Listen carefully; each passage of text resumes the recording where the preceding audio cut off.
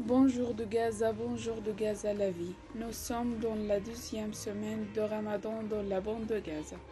Le jardin d'enfants Shahid dans la ville de Gaza organise une tente de Ramadan pendant ce mois sacré avec des activités variées, animations et spectacles, et préparé par les enfants de ce jardin connu par son travail sérieux et ses activités d'animation pour ses enfants.